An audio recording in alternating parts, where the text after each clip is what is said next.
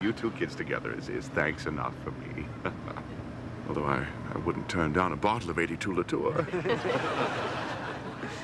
He's not kidding. I know. Oh, look. Isn't that my Winnebago pulling out from the gas station? Oh, I'd say so. You know, Dad, I'm amazed you'd let Simon drive that thing. Oh, it'll be fine. I gave him a lecture about drinking and driving. He did understand you were discouraging it? Of course. Uh-oh. Just hope he gets my family to the airport on time. I wouldn't want them to miss their plane if you get my drift. Yeah, it's them, all right. Look, it's all your brothers waving from the back. Hello. Hey, how you doing? Hello. See ya.